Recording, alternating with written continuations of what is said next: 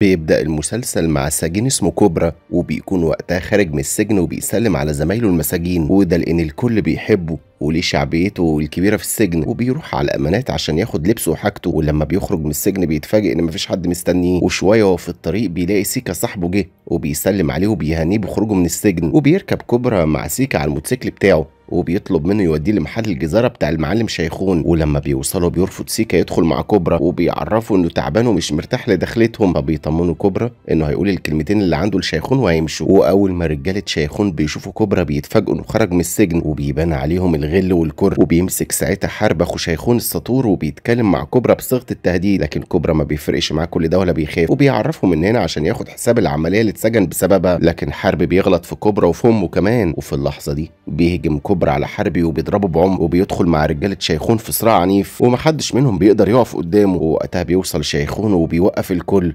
وبيقول لهم إن الأذان بيأذن واللي بيعملوه ده مش مسموح وقت الأذان. وبياخدهم وبيصلي بيهم جماعة. وبعدها بيتكلم كبرى مع شيخون وبيسألوا ليه سابوا يتسجن وما ساعدوش. فبيقولوا شيخون إنه جاب له بدل المحامي 10 محامين لكن محدش عارف يخرجه. وبيفكروا إن هو اللي بوظ العملية عشان أنقذ البنت الصغيرة. فبيقولوا كبرى إن البنت الصغيرة ما كانش ليها ذنب باللي أبوها عمله. لكن شيخون بيحذرهم من الحنية لأن الحنية في شغلهم هتخسرهم وتوقعهم فبيطلب منه كبرى باقي فلوسه اللي هم 250 ألف جنيه. فبيستغرب شيخون لأن فلوسه كان بيوصل منها 5000 جنيه كل أول شهر لأهله لكن كوبرا ساعتها بيعرفوا إن ده ما حصلش. وأول ما شيخون بيقعد مع كوبرا وحرب لوحدهم بيتهم حرب كوبرا إنه كذاب. لكن كوبرا بيقول إن هو اللي بيكذب ونصاب. فبيهديهم شيخون هما الاثنين وبيقول لكوبرا إن هو يديله بدل ال 250 ألف جنيه مليون جنيه بحالهم ولكن لازم يخلص له عملية جديدة لأن الفلوس مش معاه دلوقتي. فبيرفض كوبرا إنه يرجع الشغل ده تاني وبيعرف شيخون إنه هيستنى لحد ما يكون معاه المبلغ وبياخد بعدها سيكا وبيمشي. وبيروح كوبرا مع سيكا للحارة اللي عايشين فيها وبيكون كوبرا ساعتها مكسوف يوري وشه لمامته لأنها ما زارتوش ولا مرة في السجن. وبيفكروا إن مامته احسن ست طيبة وحساسة وفي حالها. وفجأة بيلاقي الجيران كلهم بيصرخوا. ولما بيطلع كوبرا لمامته بيلاقيها ماسكة الشبشب وبتضرب في الجيران. فبيتدخل في النص وبيسلم على مامته وبيحاول ساعتها يهديها هي والجيران. وبيسأل أخته سماح عن جوزها فتحي. ولما بيدخل البيت بيلاقي فتحي في الحمام وقاعد في البانيو وبيغني فبيتخانق معاه عشان ساب ستات البيت تتخانق. وفي الوقت ده بيعاتب شيخون أخوه حربي عشان كان بياخد فلوس كوبرا لحسابه بدل أهله وبيعرفوا إنه يخصم الفلوس دي منه كل شهر عشان يتأدب وما يتصرفش من دماغه تاني. وبالليل بيكون كوبرا قاعد بيتعشى مع مامته وإخواته البنات وبيسأل سماح إذا كانت حامل وهتفرحهم قريب فبيقول له فتحي إنهم جربوا الحقن المجهري وما نجحش. فبيتضايق كوبرا عشانها وبيغير الموضوع وبيسأل أخته منال عن خطيبها فبيرد فتحي عليه تاني وبيعرفوا إن خطيبها سابها عشان عارف إنه مسجون وبيكمل كلامه وبيعرفوا إن أخوه عبد الرحمن ساب كليته وقرر يفتح نصبة شاي في الشارع يسترزق منها. فبيطلب منه كوبرا ساعتها ياكل وهو ساكت وما يتكلمش تاني. وبعدها بيكون عبد الرحمن بيتخانق مع مجموعة من البلطجية في الشارع وبيوصل كوبرا في الوقت ده وبيبعد البلطجية عن أخوه وبيسلم عليه وبيحضنه. وبيفرح عبد الرحمن جدا لما بيشوف كوبرا ووقتها بيسأل كوبرا عبد الرحمن إزاي سايب العيال دي تضربه؟ وبيمسك واحد منهم وبيوقعه على الأرض. وبيطلب من عبد الرحمن إنه يضربه وياخد حقه منه. فبيفرح عبد الرحمن وبياخد حقه من اللي ضربه. وبعدها بيقعد كوبرا وعبد الرحمن مع بعض. وبيعاتبوا إنه ساب الكلية لأنه كان ممكن يشتغل وهو بيدرس. وساعتها بيلاحظ كوبرا إن موبايل عبد الرحمن بيرن كتير. وبياخد باله إنه متوتر ومش عايز يرد قدامه. فبيجبره وقتها إنه يرد على الموبايل. ولما بيرد عبد الرحمن على الموبايل بيتصدم كوبرا إن أخوه بيشتغل dealer. وبيضربه بالقلم وبيكسر الترابيزة اللي قاعدين عليها. فبيقول عبد الرحمن إن ده طبيعي يحصل بما إن أخوه الكبير سوابق وكان مسجون فبيساله كوبرا عن الشخص اللي شغال لحسابه وبعدها بيروح كوبرا لشيخون وبيهجم على حربي وبيضربه وده بعد ما عرف من عبد الرحمن إنه شغال لحساب حربي وبيحذر حربي إنه يقرب لأي حد من عيلته تاني عشان ساعتها مش هيرحمه. ولما بيرجع كوبرا للبيت بيقعد مع مامته وبتعرفوا إنها زعلانة منه لسه لأنه أكتر واحد في إخواته عرف هي قد إيه تعبت عشانهم وشقيت عليهم. وفي النهاية الناس بقت تعايرها بيه فبيبوس كوبرا راسها وبيعرفها إنه غلط وتعلم وهيفتح ورشة باباه من بكرة عشان ياكلوا ويعيشوا بالحلال. وتاني يوم الصبح بيفتح كوبرا ورشة باباه وبيجرب العربية القديمة اللي مركونة فيها عشان يصلحها. وفي نفس الوقت ده بيجي سيكا وبيعرفوا إن في سباق هياخدوا منه فلوس كتير بس العربية ب 10000 جنيه. فبيطلب منه كوبرا وقتها إنه يطلع تحويشة عمره عشان هيكسبوا السباق ده. وساعتها بيكون سيكا قلقان ومش مطمن. ولكنه بيوافق في النهاية وبالليل بيروح كوبرا وسيكا للسباق بعد ما كوبرا صلح العربية اللي كانت في ورشة باباه وفجأة هم في الطريق بيلاقوا عربية نقل دخلت فيهم وبيعملوا حادثة وبيكتشف كوبرا ساعتها إن اللي عمل فيهم كده هو حربي وبياخد منهم ال 10000 جنيه كمان وبيحاول كوبرا بعدها يخرج نفسه من العربية هو وسيكا بعد ما اتقلبت بيهم وبعدها بيرجع كوبرا للبيت وبتتضايق منه مامته لما بتشوفه متعور وبتكون فاكرة إنه رجع لسكة الحرام تاني. وبتتهمه إن أخوه مشي في سكة الحرام هو كمان عشان شاف أخوه الكبير بيعمل كده وبتهدده إن لو حاله ما انصلحش هتطرده من البيت. ولما بيعرف شيخون اللي حصل بيتخانق مع حربي وبيعرفوا إن كوبرا تبعه ومش هيسمح لأي حد يقرب منه فبيتضايق حربي منه وبيفكروا إن هو اللي أخوه مش كوبرا فبيقولوا شيخون إنه غبي ومش فاهم حاجة. وبعدها بنشوف طفلة صغيرة اسمها جودي وهي قاعدة حزينة لوحدها في المدرسة وماسكة سلسلة فيها صورة لمامتها. وبتيجي منال أخت كوبرا اللي بتشتغل مدرسة في المدرسة وبتتكلم مع جودي وبتسألها عن الست اللي في الصورة فبتقول لها إن دي مامتها لكن ميتة. وهتروح هي وباباها واختها عشان يزوروها ويقروا لها الفاتحة. ووقتها بيكون كوبرا قاعد مع سيكا في الورشة وبيفكر هيعمل إيه بعد ما العربية باظت في الحادثة. وساعتها سيكا بيعرفوا إنه تعبان فبيرد عليه كوبرا بعصبية عشان كل شوية يقولوا نفس الكلمة. وبيشوف كوبرا وقتها عبد الرحمن نازل من البيت فبينده عليه عشان يقعد معاه. وبيخلي سيكا يمشي عشان يكونوا لوحدهم. وبيطلب من عبد الرحمن إنه يرجع لكليته تاني لأنه مش عايز يضيع مستقبله زيه. فبيوافق عبد الرحمن وبيحضن كوبرا وبيعتذر له. وفجأة بيجي سيكا تاني وبيقول لكوبرا إن في مصيبة حصلت فبيكتشف كوبرا إن الشرطة في الحارة وبيلاقيهم قابضين على سماح أخته عشان عليها وصولات أمانة ما اتدفعتش. وساعتها بنعرف إن شيخون اللي عمل كده وبيروح كوبرا لشيخون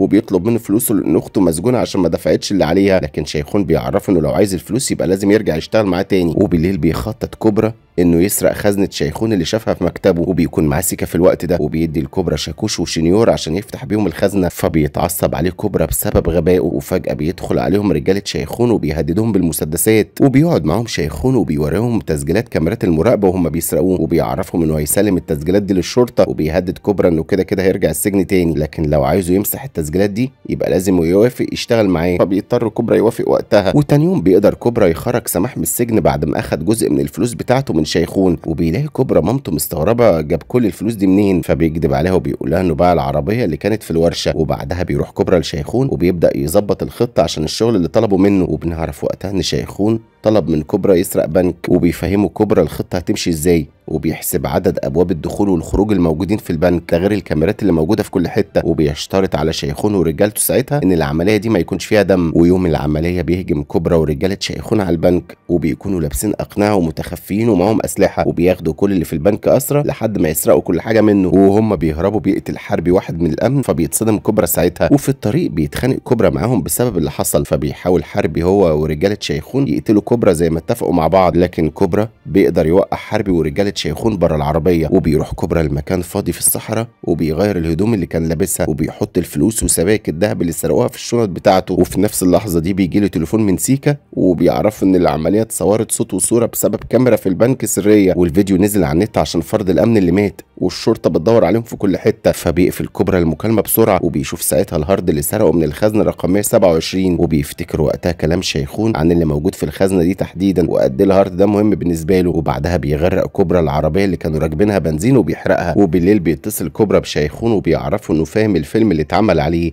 والحاجة اللي معاه مش هيشوفها فبيتعصب عليه شيخون وبيهدده لكن كوبرا بيرمي الموبايل وبيطنشه ووقتها بيكون حربي قاعد مع شيخون وبيكذب عليه وبيقولوا إن كوبرا ضحك عليهم وضربهم عشان يهرب بالحاجة اللي سرقوها وفجأة بيتصل شخص مهم اسمه عزيز الخيال بشيخون وبنعرف إن الهارد ده يخصه وعايزه ووصى شيخون إنه يسرقه له فبيطمنوا شيخون إن الهارد هيكون عنده ولما بيقفل المكالمة مع عزيز بيزعق لرجالته وبيعرفهم إنهم هينتهوا واحد واحد لو عزيز ما وصلش للهارد ولازم يلاقوا كوبرا في أسرع وقت وفي الوقت ده بيحقق الضابط حازم مع واحد من رجاله شيخون اللي اتصابوا ومسكوه وبيسألوا عن باقي أفراد العصابة اللي كان معاهم وقت سرقة البنك. فبيكذب وبيقولوا إنه ما يعرفش أي حد فيهم غير شخص واحد بس هو كوبرا. وبيقول الضابط كل المعلومات اللي تخص كوبرا. وساعتها بيوصل كوبرا للحارة ولما بيشوف سيكا بيطلب منه يراقب كل حاجة حوالين الحارة. ولو حس إن في حد غريب جاي عليهم يبلغه. وبعدها بيطلع لبيته وبياخد سماح على جنب وبيديها فلوس كتير عشان مصاريف البيت وبينبه عليها ما توريش الفلوس دي لحد. فبتسأله سماح جاب كل الفلوس دي منين؟ فبيكذب عليها وبيقول لها إن جاله شغل في أسوان ولازم يسافر. واصحاب الشغل دفعوا له عربون مقدم وبعدها بيتكلم كوبرا مع عبد الرحمن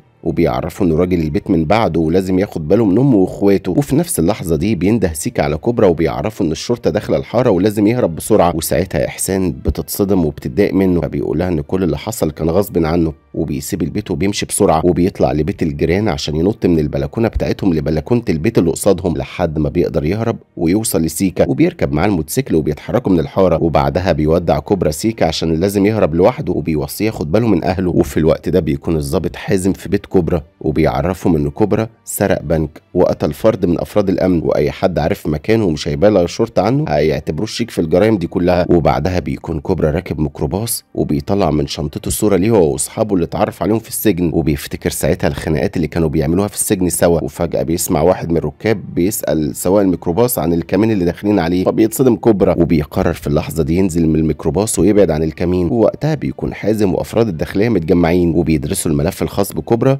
وبنعرف إن اسمه الحقيقي علي واتشهر بكوبرا لأن لدغته زي التعبان بتموت. وأبوه مات وهو صغير وساب له ورشة ميكانيكا. واتعلم كوبرا إزاي يظبط العربيات ويرجعها جديدة. ودخل في مراهنات كتيرة في سباق العربيات. ده غير إن خاله عرف الجن مسجل خطر ومجرم ونصاب وبسببه كوبرا قلبه مات وما بيخافش من حاجة. ووقتها بيدخل عليهم ظابط اسمه حسام وبيوريهم تسجيلات كاميرات المراقبة اللي في المحلات اللي في الحارة وبيظهر فيها سيكا مع كوبرا. فبيأمروا حازم إنه يقبض على سيكا في أسرع وقت. وفي الوقت ده بيهجم شيخون ورجالته على بيت كوبرا. وبيأمرهم يفتشوا البيت حتة حتة على الهارد ولما بيعترض عبد الرحمن على اللي بيحصل بيتخانق شيخون معاه وبيهدده. وبعدها بيروح الضابط حازم لشيخون وبيسأله ليه هجم على بيت أهل كوبرا. فبيوريه الفيديو بتاع كوبرا وسيكا وهما بيحاولوا يسرقوا الخزنة بتاعته. وبيكذب عليه وبيقول له ان كوبرا سرقه وكان عايز يرجع حاجته. لكن حازم بيعرفه إن في حالة زي دي المفروض يلجأ للشرطة مش يتهجم على بيوت الناس. وبعدها بيروح كوبرا لطلعت وده واحد من صحابه اللي اتعرف عليه في السجن. وبيطلب منه يقعد معاه شوية ويخبيه. فبيرحب بيه طلعت جدا وبياخده لمكان في دمياط بعيد عن الأنظار وبيعرفوا على عم فرغالي حارس البيت اللي يقعد فيه وبيحس كوبرا في الوقت ده إن البيت مهجور وغريب. لكن طلعت بيطمنه وبياخده بعدها عم فرغالي عشان يوريه الأوضة اللي هيقعد فيها وبيديله المفتاح بتاع البيت وشمع عشان الكهرباء بتقطع كتير. ولما بيمشي فرغالي وطلعت من البيت بيحس كوبرا إن البيت في حد تاني غيره وبيشوف ظل ورا باب الحمام. لكن لما بيفتحه بيلاقيه فاضي وبيقرر ساعتها يتوضى ويصلي. وأول ما بيقف يصلي بيسمع أصوات كتيرة بتكلمه فبيخاف جدا وبيفهم إن البيت مسكون. وفجأة بيلاقي البيت كله بيتحرق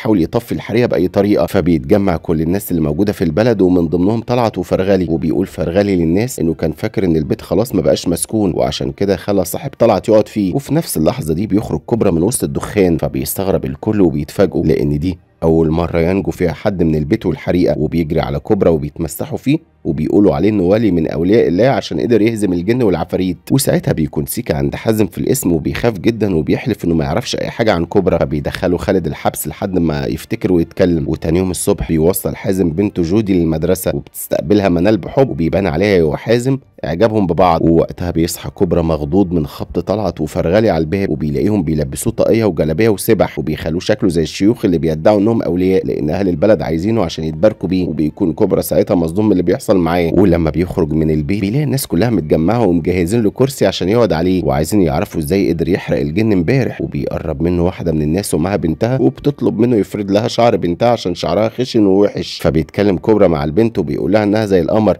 وما تسمعش كلام مامتها تاني وبيطلب بعدها من طلعت إنه يخلصوا من الموضوع ده. وبيسيبهم وبيدخل البيت. فبيدخل وراه طلعت وفرغلي وبيقنعوا طلعت إن دي أحسن طريقة تخليه يتدرى في البلد من غير ما حد يشك فيه. ولو حد فكر يقرب منه الناس مش هتسكت له. فبيقتنع كوبرا بكلامه. وبعدها بيدي كوبرا فلوس كتير لطلعت عشان يجيب له بيهم موبايل ولابتوب. وفي الوقت ده بيكون شيخون قاعد مع عزيز الخيال اللي بيعرفوا إن الهارد أهم من روحه. ولو ما ظهرش يعتبر نفسه ميت. وفي نفس اللحظة دي بيكون حازم عند شخص اسمه جمال. وبنعرف إنه صحفي كبير ومذيع وهو صاحب الخزنه رقم 127 اللي سرق منها كوبرا الهارد وبيقول ساعتها جمال لحازم إن الهارد عليه تحقيقات صحفية وده بيخلي خالد يستغرب وبيسأله ليه قرر يحتفظ بتحقيقات جوه خزنة البنك فبيعرفوا جمال إن عنده نسخ تانية من اللي موجود في الهارد عشان كده ما اهتمش بسرقته. ولما بيمشي خالد بيفتح جمال اللابتوب بتاعه وبيكتشف إن الملفات اللي عنده ممسوحة وبعدها بيكون كوبرا مع اللابتوب اللي اشتراه له طلعت وبيقرر يفتح الهارد عشان يشوف إيه المهم اللي عليه. وساعتها بيتصدم لما بيشوف فيديو لعزيز الخيال وهو بيتهجم على بنت مراهقة اسمها إيناس وخايفة منه وبعدها بيتصل كوبرا بشيخون وهو متضايق منه وبيعرفوا إنه عرف خلاص اللي موجود في الهارد فبيتجنن شيخون ساعتها وبيسأله عن مكانه لكن كوبرا بيعرفه إنه هيولع الدنيا لو أخوه حربي ما راحش سلم نفسه للشرطة واعترف إن هو اللي هجم على البنك وقتل فرد الأمن. فبيتعصب الشيخون عليه جدا وبيهدده إنه هيبهدل أهله لو ما ادولوش الهارد فبيهددوا كوبرا وبيقولوا إنه هيفضح عزيز الخيال لو حصل لأهله حاجة. وبعدها بيبعت كوبرا لسيكا رساله صوتية وبيطلب منه ينزل تطبيق يتكلموا عليه عشان التليفونات متراقبة وبينفذ سيكا طلب كوبرا وبيتكلموا صوت وصورة وبيحكي لكوبرا إن الشرطة قبضت عليه وحبسوه عشان يعترف هو فين. فبيقولوا كوبرا إنه عايز يطمن على أهله وما يتصلش بيه غير على التطبيق وبس. فبيروح سيكا لأهل كوبرا وبيخلي كوبرا يكلمهم صوت وصورة وبتكون مامته إحسان ساعتها متضايقة منه ورافضة تتكلم معاه. وبتسيبهم كلهم وبتدخل أوضتها من غير ولا كلمة. وده بيزعل كوبرا جدا لأنه ما قتلش حد ومامته مش مصدقاه. وفي الوقت ده بيكون عزيز قاعد مع جمال وبيعرفوا إن خزنته في البنك خلاص بقت فاضية. وبيتكلم مع جمال بصيغة التهديد لكن جمال بيستفزه وبيعصبه. وبعدها بيقعد جمال مع شيخون وبيعرفوا إن شداد وحريقة اللي اتقبض عليهم دول من رجالته. يعني الهارد أكيد معاه. وبيهددوا إنه لو ما رجعلوش الهارد هيبلغ عنه الشرطة إن هو اللي خطط لسرقة البنك. لكن شيخون ما بيفرقش معاه وبيقولوا إنه راجل نضيف ومحدش هيعرف يمسك عليه غلطة وبعدها بيسيب جمال وبيمشي. وفي نفس اللحظة دي بيكون رجالة عزيز مراقبين شيخون وبيبلغوا إن شيخون لسه نازل من عند جمال. وفي اسم الشرطة بيكون حازم مستدعي حرب وبيعرفوا إن لو حصل أي جديد وما قالوش عليه هيسجنه وساعتها بيلاقي منال داخل عليه وبيخاف يكون جودي بنته حصل لها حاجة. فبتقوله إنها هنا عشان هو استدعاها. وبيتفاجئ حازم وقتها إن منال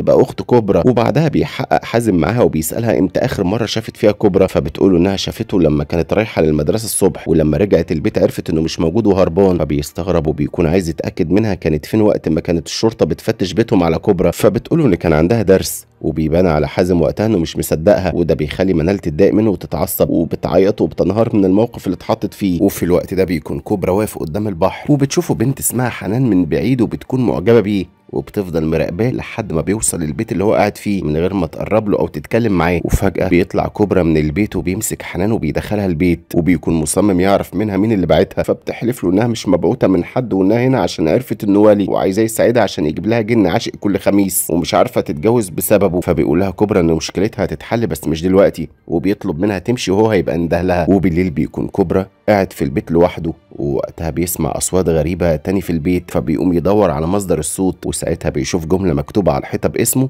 وفجأة حد بيهجم عليه وبيضربه. وفي الوقت ده بتكون منال قاعدة مع مامتها وبتقول لها إن وضعهم بقى صعب بسبب تصرفات كوبرا ومحدش هيفكر يتقدم لها ولا هتتجوز بسبب سيرته اللي بقت على كل لسان. ووقتها بيكتشف شيخون من مراته إن بنته مي اتخطفت وبيقرر يقلب الدنيا هو وحربي لحد ما يلاقوها. وتاني يوم الصبح بيصحى كوبرا وبيلاقي نفسه نايم على الأرض. ووقتها حنان بتخبط عليه وبتقول إن البلد مقلوبة عشان لقوا ام حتاته مقتولة والكل بيقول إن الجن اللي عمل كده لأن مكتوب على جبينها الدم بالدم يا ام حتاته زي ما بيحصل دايما. فبيستغرب كوبرا لأن دي نفس الجملة اللي شافها مكتوبة على الحيطة قبل ما يغمى عليه. وبيتوتر جدا لما بيعرف إن الشرطة في كل مكان فبيخلي حنان تدخل البيت معاه وبيوهمها إنه هيرقيها عشان العرسان يجولها. فبتوافق إنها تقعد في البيت معاه بالرغم من خوفها من الجن وبتقول إنها محتاجة لحل عشان العرسان بيشوفوها قردة. لكن كبرى بيبص عليها بإعجاب وبيقول لها إنها حلوة وجميلة. فبتفرح حنان جدا ساعتها وبتتكسف. وبعدها بيخرجوا سوا وبيقعدوا على البحر. ووقتها بيجي واحد من جيران حنان وبيتخانق معاها عشان خارجة مع راجل غريب. فبتعرفوا إن ده الولي وبيساعدها. لكن جارها واللي معاه بيقرروا يضربوا كبرى فبيضربوا كبرى بسهولة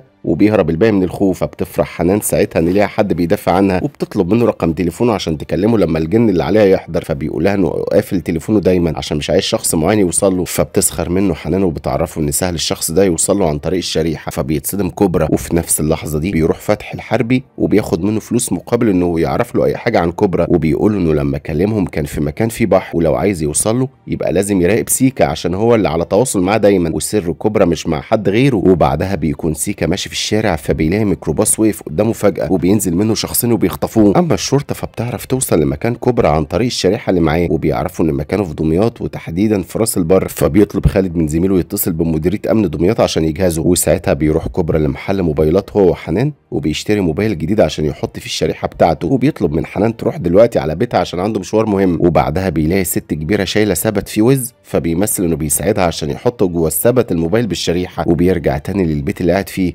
وبيتفاجئ بأهل البلد واقفين قدام البيت ومستنينه عشان ياخدوا البركة منه ويحل المشاكل بتاعتهم. وفي الوقت ده بيجي اتصال لحازم من شرطة دمياط وبيعرفوا إنهم مش لاقيين كبرى ومكان الشريحة اتغير فبيقول لهم حازم إنهم لازم يتابعوا تحركات الشريحة أول بأول لأن كبرى لازم يكون عنده النهارده قبل بكرة. ووقتها بيتفاجئ شيخون ان حربي خطف سيكا وعبد الرحمن أخو كبرى ورابطهم وحابسهم عشان يجبرهم يقولوا مكان كبرى فين فبيتعصب شيخون بسبب تصرف حربي وبيعرفوا إن كبرى كده هيقتل مي بنته عشان أخوه لكن حربي بيطمنه وبياخدوا تليفونات سيكا وعبد الرحمن عشان يفتشوها كويس. وفي نفس الوقت ده بيكون كوبرا قاعد مع حنان في مطعم وبياكلوا سوا وبيعرف منها إنها وحيدة وأهلها كلهم ميتين فبيطمنها إنها مش لوحدها وهيكون جنبها في أي وقت. ولما بيسيبها عشان يروح للحمام بيجي تاني جار حنان وبيتخانق معاها فبيرجع كوبرا وبيضربه تاني. وساعتها بيكون حربي وشيخون قاعدين بيعذبوا في سيكا وعبد الرحمن وفجأة بيوصل لشيخون فيديو لبنته. فبينهار وبيقوم يضرب في عبد الرحمن بعنف وبيقول لحربي إنه متغاظ جدا عشان مش عارف يوصل لكوبرا لحد دلوقتي. وبيعرف وبيعرفوا إنه هيديله رقم يدور وراه وبيحذروا يأذي عبد الرحمن لأن ساعتها بنته هي كمان ممكن تتأذي. ووقتها بيكون جمال بيصور في مكتبه حلقة جديدة من برنامجه الصحفي وبيتكلم فيه عن كبرى وجرايمه ولما بيخلص تصوير بتوصل له رسالة من عزيز وبيطلب فيها منه إنهم يتقابلوا عشان عايز يتكلم معاه. وفي نفس الوقت ده بيكون عزيز قاعد مع ايناس اللي كان بيحاول يعتدي عليها في الفيديو. وبيعرفها إن جمال اللي سلمته الفيديو وبعته ليه بيتفق معاه عشان ياخد منه فلوس ويسكت. وفي النهاية هي اللي هتطلع خسرانة. وكان المفروض تسكت زي باقي إخواتها في الدار. وبنعرف ساعتها إن عزيز بيمتلك دار أيتام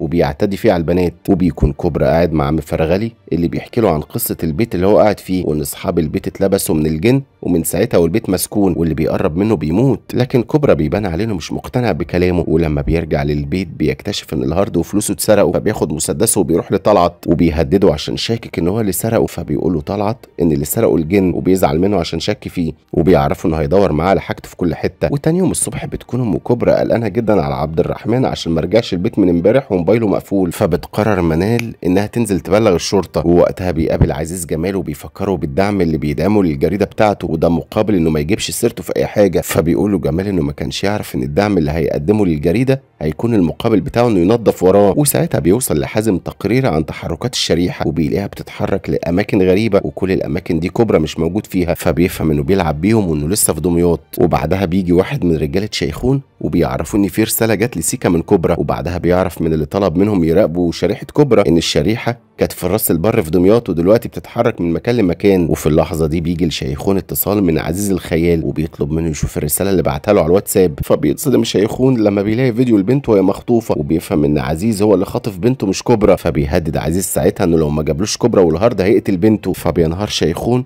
وبينده على حربي ورجالته وبيتحرك بيهم على بيت عزيز. فبيخرج عزيز وبيتكلم مع شيخون بكل هدوء وبيعرفوا إن بنته مش في بيته. ولو فكر يقرب منه خطوة كمان بنته هتموت في نفس اللحظة. وبيفكروا إنه طلب منه كتير يجيب له ال hard من كوبرا لكنه لحد دلوقتي ما اتصرفش وما عملش أي حاجة. وفي الوقت ده بيتصل كوبرا بسماح من تليفون موجود في كشك في الشارع ولما بترد عليه بيعرفها إنه قلقان عليهم لأن سيكا مش بيرد عليه نهائي. فبتقول له إن سيكا وعبد الرحمن ما رجعوش من امبارح ومحدش عارف مكانهم فين. وفي نفس اللحظة دي بيكون حربي قاعد بيعذب في سيكا وعبد الرحمن وبيضربهم بعنف شديد. وفجأة بيغمى على عبد الرحمن من الضرب وبيخاف حربي جدا ساعتها وبيستغل سيكا انشغال شيخون ورجالته مع عبد الرحمن وبيهرب. وبيروح سيكا لاسم الشرطة عشان يبلغ عن حربي وشيخون وبيطلب من الضابط يعمل مكالمة تليفون وبيتصل بسماح وبيقول لها إن حربي وشيخون قتلوا عبد الرحمن. ووقتها بيتصل الضابط حسام بحازم وبيعرفه إن سماح أخت كبرى جالها تليفون من راس البر فبيتحرك خالد على راس البر هو وزمايله. وبعدها بيقعد كبرى في البيت وبيكون معاه حنان مستخبية وعاملين كمين عشان يشوفوا مين اللي بيدخل البيت وبيخوف الناس لأن كبرى مش مصدق قصة الجن والعفاريت. وفعلا بيكتشف كبرى إن اللي ورا كل ده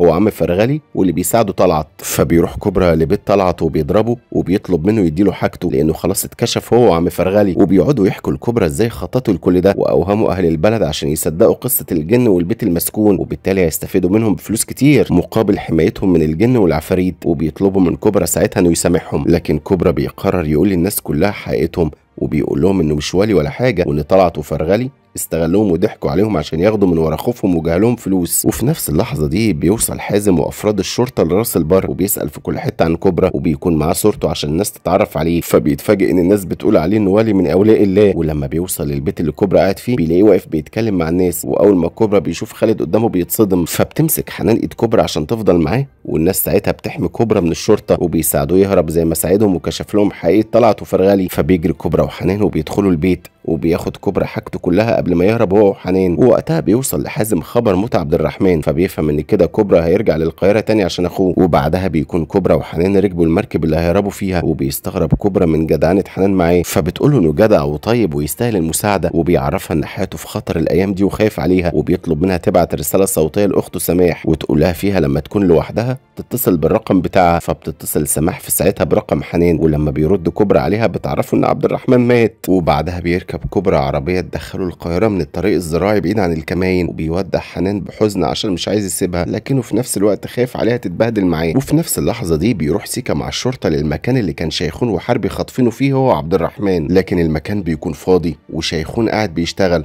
وبيقول للشرطة إن سيكا مسطول وبيتعاطى المخدرات. لكن سيكا بيحلف إن شيخون كذاب وبعدها بيتصل فتحي بحربي من المستشفى وبيعرفوا إن عبد الرحمن في العناية المركزة ولسه عايش. وأكيد كبرى هيظهر عشان يشوف أخوه في أي وقت فبيبلغ حرب شيخون باللي عرفه عشان يتحركوا على المستشفى ويستقبلوا كبرى لما يوصل. وفي الوقت ده بتروح نجاه مديرة الدار تزور إيناس في المصحة اللي حابسها عزيز فيها وبتقول لها إنها تحاول تقنع عزيز يخرجها من هنا ويرحمها وبتقنعها تقول له على مكان الفيديو اللي معاها لكن إيناس بتعرفها إن عزيز سايبها عايشة عشان ما يعرفش مكان الفيديو وبمجرد ما يعرفه هيقتلها وبيوصل بعدها الصحفيين والمراسلين الخاصين بجريدة جمال للمستشفى وبتوصل الشرطة كمان في نفس الوقت وبيتصل كوبرا بسماح من تليفون في الكشك فبتعرفه إن عبد الرحمن مش ميت ولسه عايش ولكن حالته صعبة قوي وعرفت إن اللي عمل فيه كده حربي فبتاخد منها مامتها في اللحظة دي التليفون وبتكلم كوبرا وبتقوله ما يجيش للمستشفى لأن الشرطة والصحفيين في كل مكان ومستنينه يظهر. وقتها بيجي حازم وبيصعب عليه منال وهي منهارة لكن بيتحكم في مشاعره عشان شغله وبيسأل سماح ومامتها عن كوبرا فبيتضايقوا منه جدا وبيطلبوا منه يمسك ويحقق مع اللي حاول يقتل عبد الرحمن. وبعدها بيوصل كوبرا الحربي وبيمسكه وبيكتفه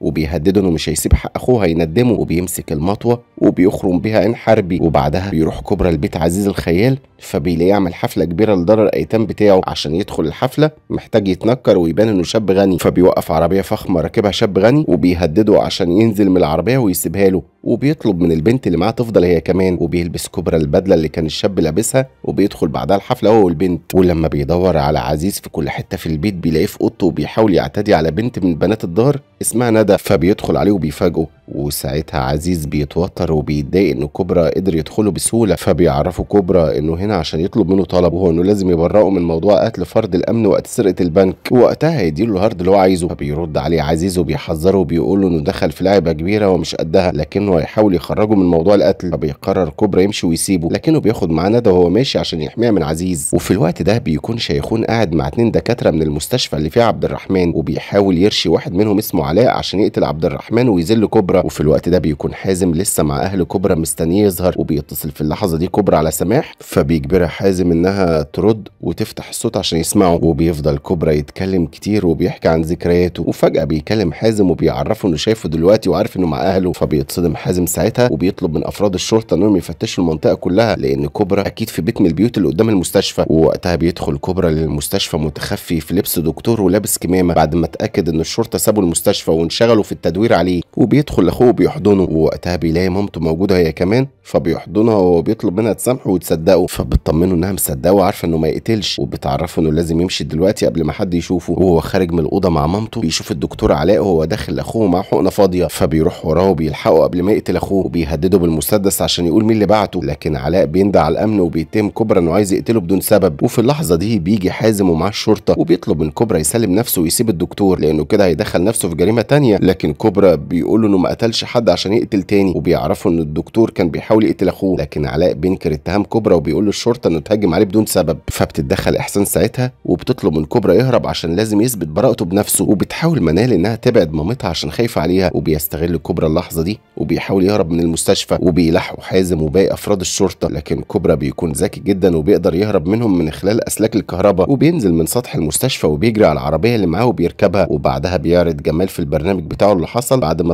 الصحفيين والمراسلين بتوعه صوروا اللي حصل وبيتضايق رئيس حازم في الشغل من اللي حصل لأن كده كوبرا مجرم خطير ولازم يمسكوه وساعتها بيتفق جمال مع مروة الصحفية والمصورة اللي شغالة عنده إنها تعمل له فيديوهين لكوبرا واحد تبين فيه إنه مجرم والتاني تخلي الناس تحبه فيه لأنه حاسس إنه ممكن يحتاجه في يوم من الأيام. ووقتها بيكون حازم قاعد مع إحسان وبيعرفها انهم مش أعدائها ولازم تساعدهم عشان تساعد ابنها لكنها بتقول إنها ما تعرفش أي حاجة عن كوبرا فبيخلي حازم منال وسماح يدخلوا. وبيسلمهم التليفونات بتاعتهم وبيعرفهم إن مامتهم هتتحبس عشان هتتعرض على النيابة فبتتضايق منال منه وبتسأله عن السبب فبيعرفها إن المحامي اللي هيجيبوه هيبقى يقول لهم عن السبب. وبعدها بيحقق مع الدكتور علاء اللي بينكر تماما كل اتهامات كوبرا ليه وبيقول ان كوبرا هو اللي كان معاه الحقنة وبيمثل لكن حازم مش بيصدقه وبيطلب من العسكري يدخله الحبس. وبعدها بيتصل بزميله فايز اللي في دمياط وبيسأله وصل لإيه مع فرغلي فبيقول له فايز إن فرغلي لسه بيلوعهم وبيقفل فايز المكالمة مع حازم وبيكمل تحقيقه مع فرغلي اللي بيكون مصمم إن كوبرا هو اللي قتل ام حتاتة وانه من ساعة ما وصل رأس البر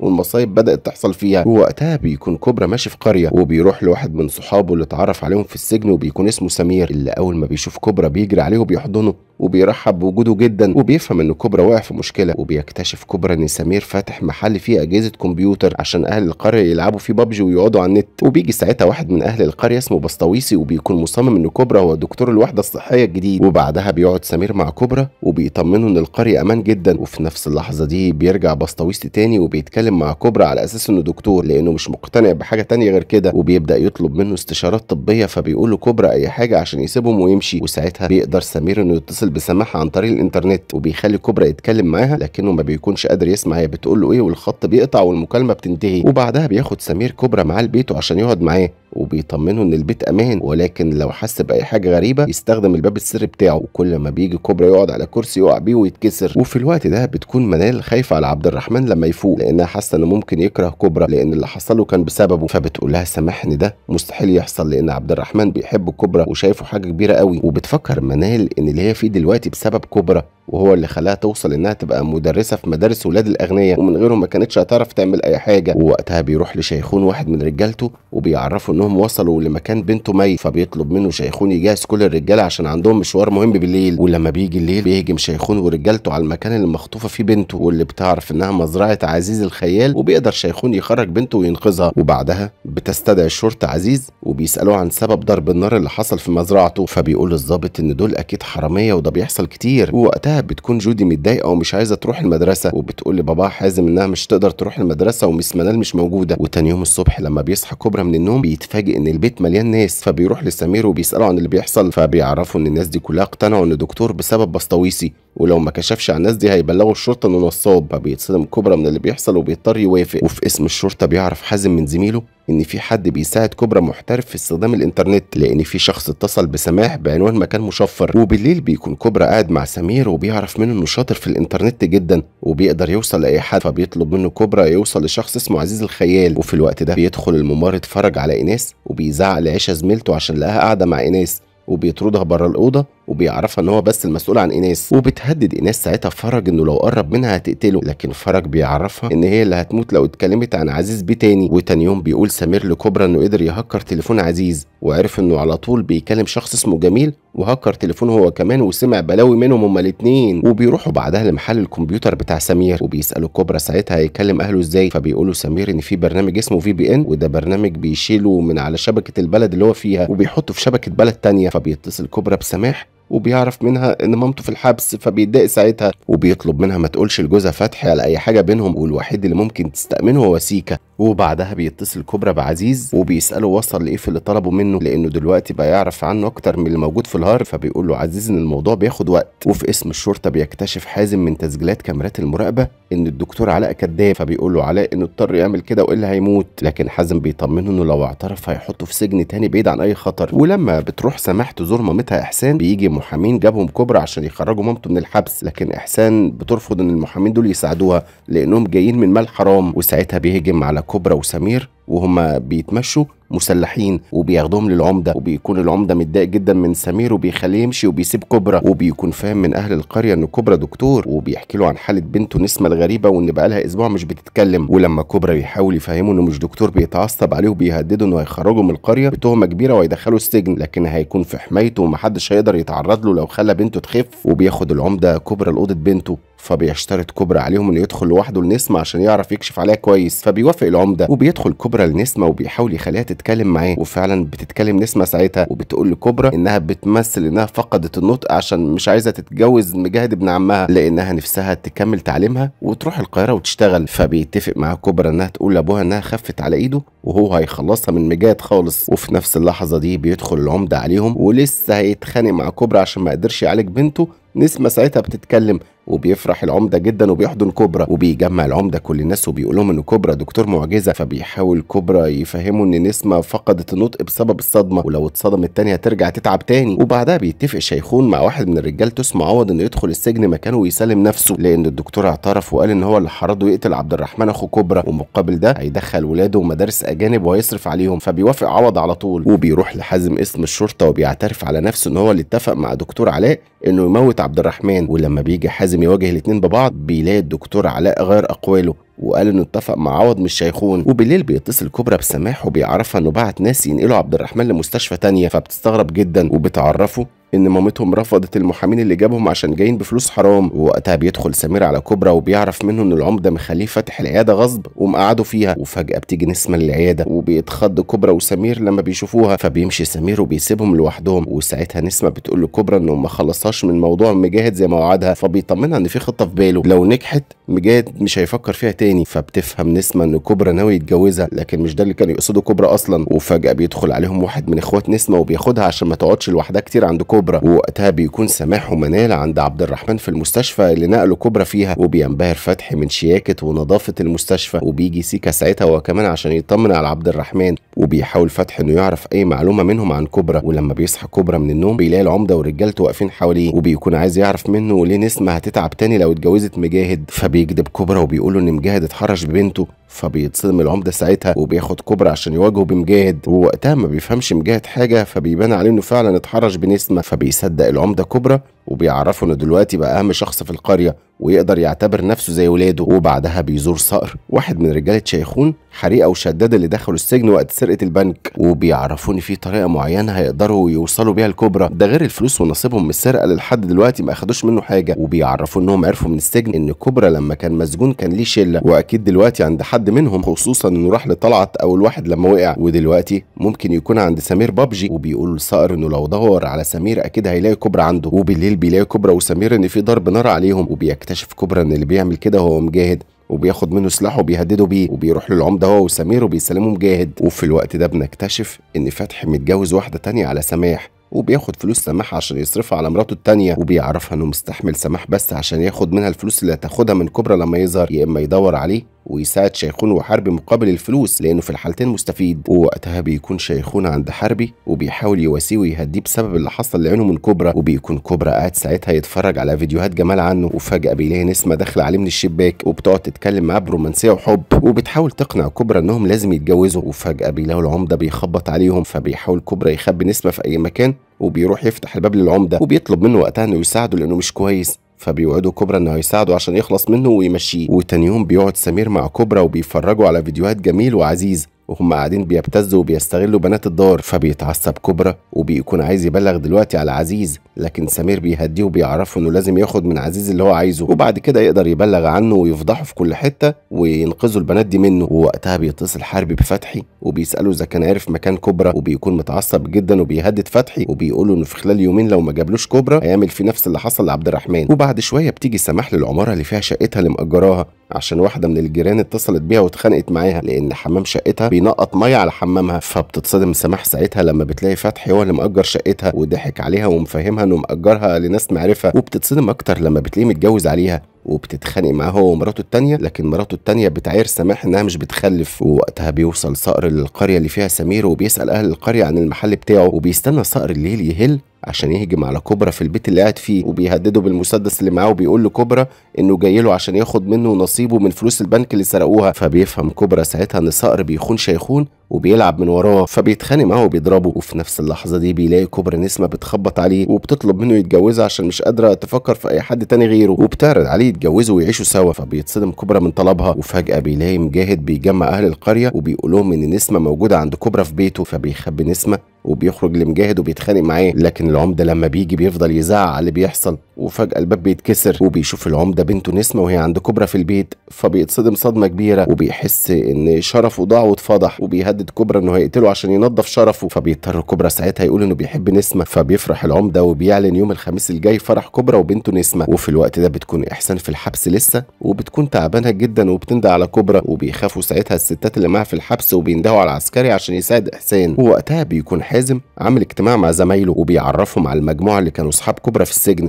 وبيكون شاكك إنه ممكن يكون مستخبي عند حد منهم لأنهم لما لقوه آخر مرة كان عند طلعت. وفي الوقت ده بيحاول كبرى يخبي صقر فبيشوفوا ساعتها سمير وبيخاف وبيعرفوا إنه مش هيقدر يخبيه ويخبي معاه جثة كمان فبيحاول كبرى يهديه وبيطلب منه يساعده إنهم يخبوا جثة صقر فبيقولوا سمير إنهم لازم يلفوه بالسجادة ويعملوا نفسهم رايحين يغسلوا السجادة عشان يقدروا يخرجوا بيه من البيت ومحدش يشك فيهم ولما بيخرجوا بجثة صقر ملفوفة في السجادة بيوقف أهل القرية كلهم كبرى عشان يباركوا له على جوازه من نسمه وبياخدوا منهم السجادة من غير ما يحسوا. وبعد ما بيمشوا بيكتشف كوبرا وسمير إن السجادة اختفت وبيدوروا على السجادة لحد ما بيلاقوها وبيروحوا للترعة وبيرموا فيها جثة جثه صقر بالسجادة وساعتها بيسأل سمير كوبرا إزاي قتل صقر فبيعرفوا إنه ما قتلوش وجات فيه رصاصة بالغلط. ووقتها بيكون سيكا قاعد مع غرام حبيبته وبيشوفوا سوا الفيديو بتاع جمال عن كوبرا وبيعرض مليون جنيه مكافأة للي يوصل له فبيتصدم سيكا وبيخاف على كوبرا وبتقترح عليه غرام إنهم يطلعوا في بث مباشر على التيك توك عشان يتكلموا عن كوبرا ويدافعوا عنه بما إن عندها متابعين كتير. وبيطلع فعلا سيكا يتكلم عن كوبرا وبيقول للناس إنه مستحيل يقتل.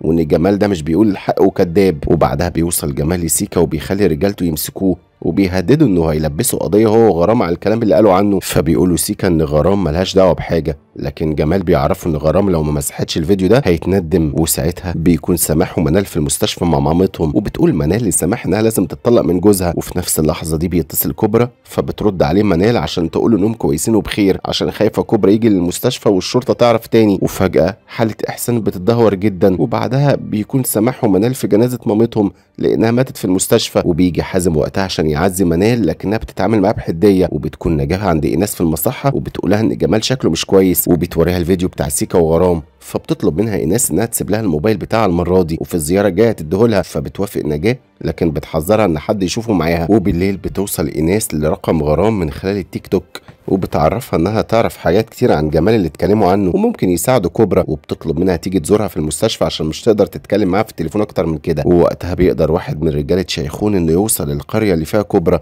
وبيبلغ شيخون بمكانه. وتاني يوم بيكون جمال وعزيز خاطفين سيكا وبيسألوا عزيز عن اللي بين شيخون وحربي وكوبرا فبيقولوا سيكا انه جعان وهيتكلم لما ياكل. وبيروح الظابط حسام لواحد زميله بيخدم في القرية اللي فيها سمير. وبيعرفوا إنهم شاكين إن يكون كوبرا مستخبي عنده لكن عايزين التحريات بتاعتهم تكون في السر. وبعد شوية بيتصل حسام بحازم وبيعرفوا إنه اتأكد خلاص إن كوبرا عند سمير. وبالليل بيكون فرح كوبرا على نسمة بنت العمدة. وأثناء ما الفرح شغال بيوصل شيخون ورجالته. وبيتصدم كوبرا لما بيشوفهم فبيحاول يهرب. وبيطلب من سمير يداري عليه. وبيقدر كوبرا إنه يهرب من القرية. وبيروح لبيت جنب القرية بشوية. وبيطلب من نادي صاحب البيت إنه يستخدم التليفون. لكن نادي ساعتها بيقفل الباب في وش كوبرا وفجأة سيلين مرات نادي بتفتح الباب تاني وبترحب بيه لأنها فاكراه الطباخ اللي كلمها عشان الشغل فبيكذب عليها كوبرا وبيقول لها إنه الطباخ فعلا. ولما بيدخل البيت بتعرفه سيلين إن جوزها مريض بالزهايمر لكن نادي بيكون شاكك في كوبرا وبيقول لها إنه نصاب وكذاب فسيلين مش بتصدقه عشان عارفة إنه بينسى ومريض. وتاني يوم الصبح بتوصل الشرطة للقرية وبيعرف حسام وحازم ان كوبرا ملوش أي أثر هو وسمير وبيستغربوا هربوا إمتى وإزاي وتحرياتهم عنهم كانت سرية. ولما بيحقق حازم مع العمدة بيقولوا إن الشخص اللي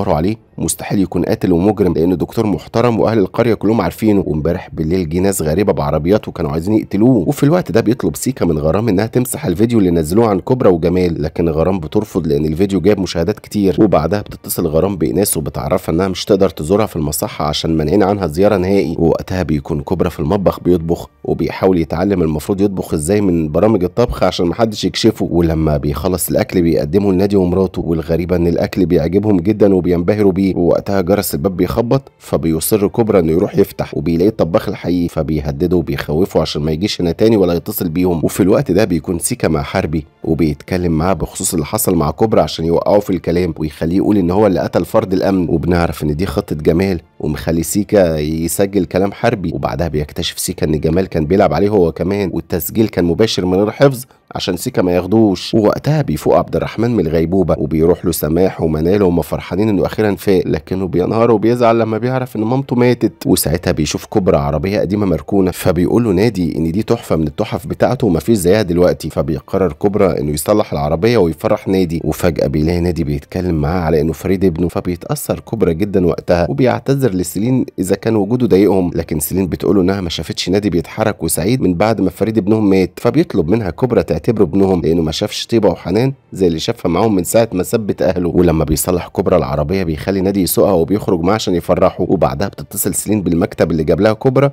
عشان تعرفهم إنه طباخ محترم وشاطر. لكن المكتب بيقول لها إن الطباخ بتاعهم رجع من عندهم مضروب فبتتصدم سيلين ساعتها وبتروح له الاوضه اللي قاعد فيها كوبرا وبتفتش في حاجته عشان تعرف هو مين. فبتلاقي في شنطته مسدس. وفي اللحظة دي بيدخل عليها كوبرا وبيشوف المسدس معاها لكنه بيقدر يهديها وبيقعد يتكلم معاها وبيحكي لها كل اللي حصل معاه انه مظلوم فبتصدقه سيلين وبيصعب عليها. وبتطلب منه ما يستخدمش المسدس ابدا حتى لو هيدافع عن نفسه. وبعدها بيتصل كوبرا بسمير فبيعرفوا سمير إن اسمه بقى في كل حتة ولازم يغير اسمه ويسافر بره البلد. وفي الوقت ده بيروح سيكا الغرام اسم الشرطة لأن جمال بلغ عنها إنها بتشتغل في الدعارة على الإنترنت. وبيروح جمال لعزيز وبيوريه التسجيل اللي سجله الحربي. وبيعرفوا إن كده ما بقاش محتاجه في حاجة ولو ما ادالوش المبلغ اللي هو عايزه هيسجنه لأن كل فضايحه بقت في إيديه دلوقتي. فبيتصدم عزيز من اللي جمال عمله معاه وبعدها بيكون جمال في مكتبه وبتستغرب مروة لما بتشوف تسجيل حربي وبتسأل جمال ساعتها ليه بيقولوا عن كوبرا إن قتل وهو ما قتلش؟ فبيفهمها إنهم لازم يقولوا للناس اللي عايزة تسمعه وفي نفس اللحظة دي بتكون منال ماشية في الشارع.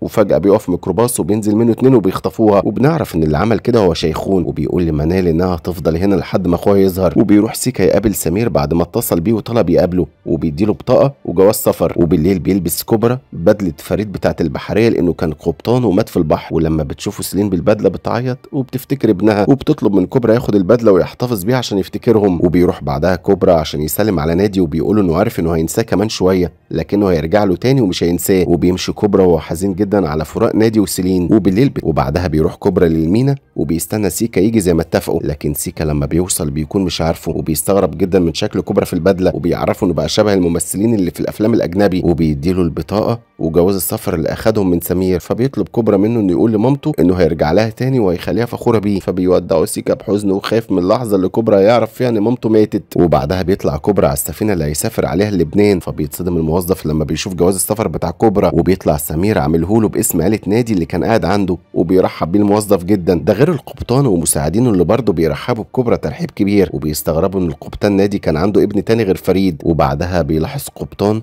إنه كوبرا مش فاهم أي حاجة في معدات السفينة وبيبدأ يشك في إنه مش قبطان أصلا. وفي الوقت ده بيروح شيخون لجمال وبيهدده لأنه عرف إنه سجل لأخوه عشان يهددهم. ولما بتنزل سماح من البيت عشان تروح اسم الشرطة تبلغ عن غياب منال بتلاقي واحد من رجالة شيخون مناعة تخرج من العمارة. وفي الوقت ده بتكون منال على باب اسم الشرطة لكن فجأة بيغمى عليها وبيشوفها حازم وبيخاف عليها جدا. وبيرجع شيخون لحربي وبيتخانق معاه بسبب غبائه. وبيعرفوا إن عيل زي سيكا ضحك عليه واستغفله. وفجأة بيدخل عليه حازم ومعاه الشرطة وبيقبضوا عليه. وفي الوقت ده بتوصل السفينة لبنان وساعتها كوبرا بيقرر يقول للقبطان إنه مش ابن نادي فبيتصدم القبطان ساعتها ولما بيوصل كوبرا لبنان أول حاجة بيعملها إنه بيروح يدور على صلاح سلطة وده واحد من صحابه اللي اتعرف عليهم في السجن. فبتقول واحدة من الجيران إنه دلوقتي في اسم الشرطة فبيروح كوبرا للاسم وهناك فعلا بيلاقي صلاح محبوس وباقي المحبوسين بيضربوه وبيكون كوبرا مش عارف يعمل إيه ويتصرف إزاي لأنه جاي لبنان عشان يستخبى عنده. فبيعرفه صلاح ان مفتاح بيته تحت الدواسة ولما بيروح كوبرا لبيت صلاح مش بيلاقي المفتاح تحت الدواسة فبيضطر يكسر الباب وبيتفاجئ من شياكة وحلاوة البيت. وساعتها جرس الباب بيرن ولما بيفتح كوبرا الباب بيلاقيها بنت وعايزة صلاح وبتدور عليه وبيتصدم لما بيعرف إن البنت البنت دي بتحب صلاح ودايبة فيه وشوية وبتيجي بنت تانية تسأل على صلاح برضه وبتكون منهارة عشان صلاح زعلان منها. وفي الوقت ده بيحاول عزيز يهدد سيكا عشان يديله التسجيل اللي فيه اعتراف حربي. لكن سيكا بيقول إنه جمال صور التسجيل مباشر ومحدش غيره معاه التسجيل ده. وبعدها عزيز بيقعد مع مروة وبيحاول يغريها عشان تكون معاه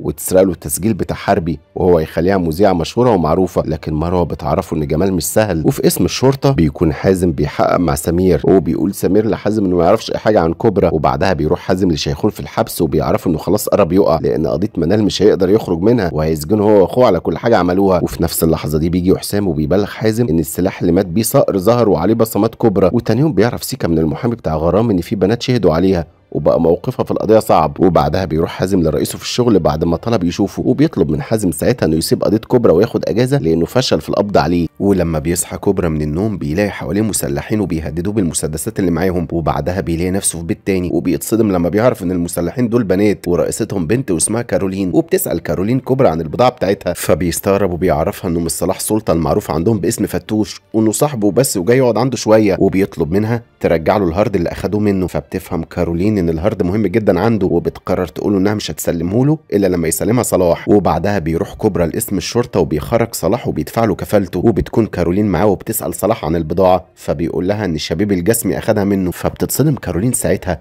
وبعدها بيروح كوبرا وصلاح لمطعم وبيسأله عن الستات اللي بيحبوهم مقطعين نفسهم عليه. فبيقول له صلاح إنهم بيموتوا فيه بسبب وسامته. وده بيخلي كوبرا يتصدم ويستغرب لأن صلاح مش وسيم. وبيتفقوا سوا إنهم يهجموا على شبيب الجسمي عشان يرجعوا البضاعة بتاعت كارولين. لكن رجالة شبيب بتهجم عليهم بالمسدسات. وكوبرا بيقدر ياخد البضاعة والفلوس. وبيروح هو وصلاح لكارولين وبيوريها كوبرا شنطة الفلوس والبضاعة. فبتنبهر ساعتها كارولين من شجاعة وقوة كوبرا وبعدها بيوصل حازم للبنان وبيقابل صاحبه المقدم فارس. وبنعرف إن حازم جه لبنان عشان عرف إن صلاح عايش في لبنان. وشك إن كوبرا هرب وراح له وبيقابله واحد زميل فارس وبيوريهم آخر فيديو لصلاح وهو بيسرق شباب الجسمي وبيكون كوبرا ظاهر في الفيديو. فبيتأكد حازم إن كوبرا فعلا مع صلاح. ووقتها بيجهز عبد الرحمن عشان يخرج من المستشفى وبتعرفوا سماح انهم هيروحوا شقتها عشان بيتهم ما بقاش أمان. وكل شوية رجالة شيخون يروحوا لهم. ولما بيوصلوا للشقة بيتخانق معاهم فتحي ومراته. وساعتها فتحي بيقرر يقول لعبد الرحمن إن شيخون خطف أخته منال. فبيتصدم عبد الرحمن وبيمشي بسرعة. وبيروح لشيخون عشان يتخانق معاه لكن حربي بيوقفه. وبيعرفوا إن اللي عمل كده جمال. وبيوريه صور منال اللي نشروها على النت ليها وهي عريانة. وبيعرفوا إنهم عملوا فيها كده لما كانوا خاطفينها. وساعتها بيجبر حرب رجالته إنهم يشمموا عبد الرحمن هيروين. ووقتها بتكون مروة قاعدة مع عزيز وبتوافق إنها تشتغل معاه. لكن بشرط إن جمال يتسجن الأول عشان لو عرف إنها خانته هيقتلها وبعدها بيكتشف جمال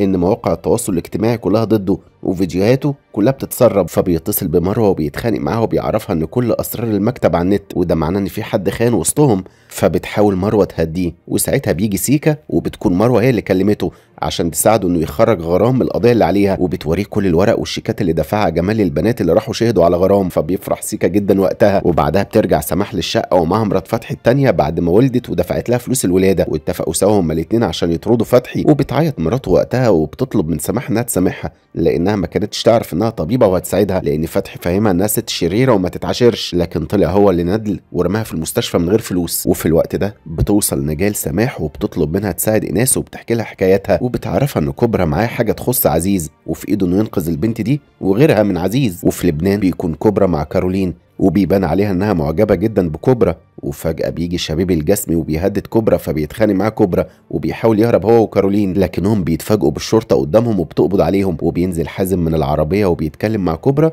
وبيستغرب ساعتها إن حازم جاله لبنان فبيعرفه انه هنا عشان يرجعه مصر وياخد بنفسه عزا الست إحسان مامته فبيتصدم كوبرا ساعتها لكن حازم وقتها بيكتشف إن الشرطة اللبنانية هتسجن وتحاكم كوبرا عشان اللي عمله على أرضهم وبعد كده يقدر حازم ياخده معاه مصر. وبيحاول بعدها يوصل لحل مع فارس عشان يسلموا كوبرا ويساعدوه. ووقتها بيكون عزيز في زياره لدار الأيتام بتاعه وأول ما البنات بيشوفوه بيخافوا وبيتخضوا خصوصا بنت اسمها خديجة. فبيقرب منها عزيز وبياخدها على جنب عشان يتكلم معاها وبيكون متضايق منها عشان بعت لها رجالته كذا مرة وهي رفضت تجيله فبتقول له بنبرة خوف إنها مش عايزة اللي حصل يحصل تاني. فبيعرفها عزيز إنها تروح معاه غصب عنها ومش هتفتح بقها بكلمه وإلا مصيرها هيكون زي ايناس وبيسالها عن الفيديو اللي ايناس صورته له إذا كان حد تاني غيرهم شافه فبتعرفه خديجة إنها ما تعرفش. وبعدها بيعرف حازم من حسام من المحامي بتاع شيخون خرجه من الحبس. ووقتها بيكون شيخون متضايق من حربي وده بسبب اللي بيعمله مع عبد الرحمن. لأنه خاف يحصل له حاجة تاني وساعتها الحكومة مش هتسيبهم المرة دي وبيقرر إنه يخلي عبد الرحمن يمشي ولكن بيهدده إنه لو قال على اللي حصل له هنا هيقتل إخواته البنات. وتاني يوم بيلاقي سيكا عبد الرحمن مرمي في الشارع وبياخده البيت سماح وبيعرفها إن شكله واخد مخدرات. فبتتصدم سماح ساعتها وبتفتكره مدمن. وفي لبنان بيروح حازم يزور كوبرا في الحبس وبيعرفوا إنه لازم يخرج نفسه من التهم اللي عليه هنا في لبنان عشان يرجع معاه مصر لأن إخواته دلوقتي محتاجينه. ولما بيعرف كوبرا اللي حصل لإخواته من شيخون وأخوه بيتصدم والغضب بيتملكه فبيسلم حازم ساعتها وبيكتشف كوبرا إنه ساب له في إيده مفاتيح عشان يحرر بيها نفسه ويهرب. وبعدها بيستفز كوبرا العسكري اللي قاعد بيراقبه وبيدخلوا مع بعض في صراع عنيف وبتتجمع كل العساكر على الصوت. لكن بيقدر كوبرا وصلاح إنهم يضربوهم ويهربوا من الاسم وبيودع كوبرا ساعتها صلاح عشان هيرجع مصر تاني. وبيروح لحازم وبيطلب منه يرجعه مع مصر. وبعدها بيكون سيكا قاعد مع غرام بعد ما خرجها من الحبس بمساعدة مروة. وبيطلب منها تقلل فيديوهاتها على التيك توك عشان ما تتأذيش تاني. وفي الوقت ده بيروح جمال مع المحامي بتاعه لتحقيق نقابة الصحفيين. لأنهم استدعوه عشان هيوقفوه عن العمل. وبيكتشف ساعتها إن مروة هي اللي ورا كل ده وعرفتهم إنه مشارك في اذيه غرام وكوبرا وأهله فبيطلب جمال من رئيس النقابة إنه يقعد معاه لوحده. ولما بيكونوا لوحدهم بيطلب منه يخلي التحقيقات دي سرية وفي المقابل هيوصلهم للراس اللي عملت كل ده. وبيعرف بعدها شيخون إن جمال اعترف عليه وعلى كل حاجة عملها والشرطة دلوقتي بتدور عليه. فبيطلب من رجالته ويجهزوا عشان يواجهوا الشرطة لكن رجالة شيخون بيسيبوه لوحده ساعتها وبيرفضوا إنهم يكملوا معاه أو يواجهوا الشرطة عشانه. وعلى السفينة بيتكلم حازم مع كوبرا وبيقول له إنه المجرم الوحيد اللي كل ما يسأل عنه حد يشكر فيه. فبيكون كوبرا خاف إن منال بعد اللي حصل فيها بسببه تكون كرهته. لكن حازم بيطمنه وبيعرفوا إن منال بتحبه وبتدافع عنه دايما. ولما بيوصلوا مصر بيروح كوبرا لقبر مامته وبيكون حزين جدا ساعتها وبيفتكر كل ذكرياته معاها وبعدها بيتكلم مع حازم وبيطلب منه إنهم يحطوا إيديهم في إيدين بعض لأنه معاه أدلة عن ناس كبيرة في البلد بتعمل مصايب وعشان كده بيلاحقوه وبيهددوا بأهله. فبيوافق حازم وبعدها بيروح كوبرا لمنال المستشفى وبيحضنها وبيطمنها إنه هيرجع لها حقها. وبتيجي سماح هي وسيكا وبيتفاجئوا بكوبرا وبتفرح سماح جدا وبتجري عليه وبتحضنه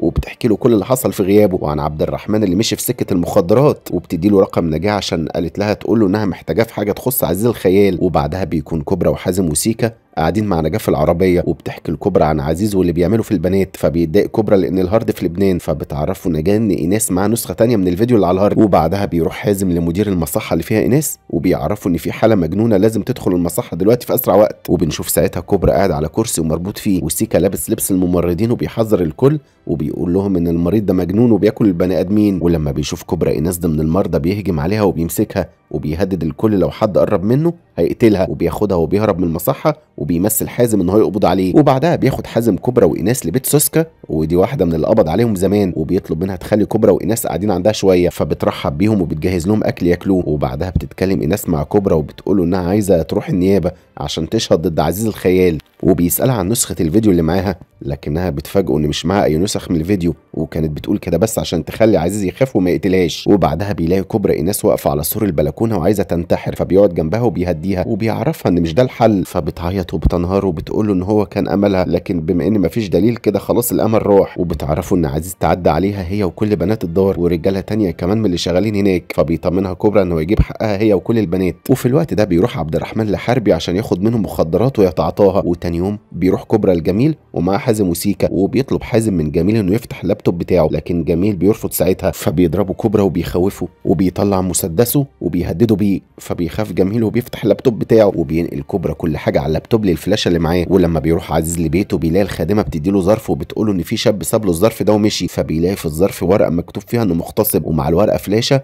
ولما بيفتح الفلاشة بيلاقي فيها فيديوهات لبنات الدار وهم بيحكوا عمل فيهم إيه واغتصبهم واتحرش بيهم إزاي وبيتصل جميل بيه في الوقت ده وبيعرفوا إن كبرى والظابط حازم أخدوا كل الحاجات اللي ما كانت موجودة على اللابتوب فبيتصدم عزيز ساعتها وبعدها بيروح عزيز لدار الأيتام فبيلاقي متعلق في كل حتة ورق مكتوب عليه إنه مغتصب فبينهار وبيفقد أعصابه وبيطلع للبنات يزعق لهم ويهددهم وفي اللحظة دي بيظهر كبرى ومعاه ايناس وبيهجم على عزيز وبيضربه وبيقول له إنه هيدفع ثمن اللي عمله كله وبيخلي ايناس والبنات يضربوه وياخدوا حقهم منه وبياخد ايناس بعدها وبيمشوا ولما بتوصل الشرطة للدار بيلاقوا عزيز مات من ضرب البنات فيه وبعدها بيروح كبرى الجمال وبيهدده بالمسدس إنه هياخد منه حق كل كلمة قالها زور عليه وحق إنه استغل جريمة بتحصل لبنات أبرياء عشان يكسب من وراهم فلوس. فبيقول له جمال إن أي حاجة دلوقتي هيقولها له النيابه مش تاخد بيها لأن كل ده تحت تهديد السلاح. وفجأة بيلاقي حازم قدامه فبينهار جمال ساعتها وبيقول لهم إنه مش هيديهم اللي هم عايزينه مهما يعملوا. فبيقرر كبرى يعذبه وبيعترف جمال ساعتها بمكان الفيديوهات اللي معاه واللي تخص عزيز وحربي واعترافه بالقتل. وبعدها بيكون عبد الرحمن مع شيخون وبيتصل بحربي وبيتخانق معاه عشان ما كانش عايز حد يعرف مكانه. وفجأة بيلاقي على التلفزيون مروة وبتعرض اعتراف حربي بالقتل. وفي اللحظة دي بتقبض الشرطة على حربي. فبينهار شيخون ساعتها وبيتصل بكبرى من تليفون عبد الرحمن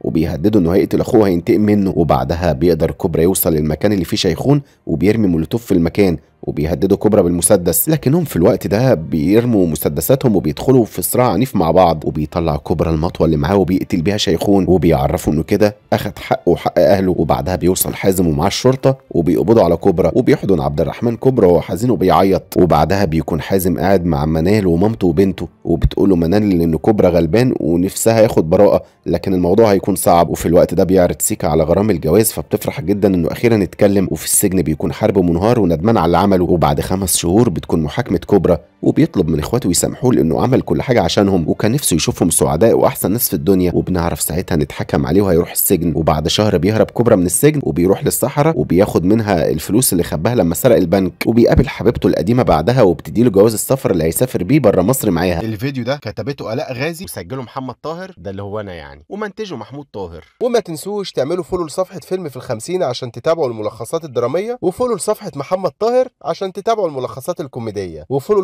لصفحة هكونا مطاطا عشان تتابعوا ملخصات الأنمي والكرتون. سلام!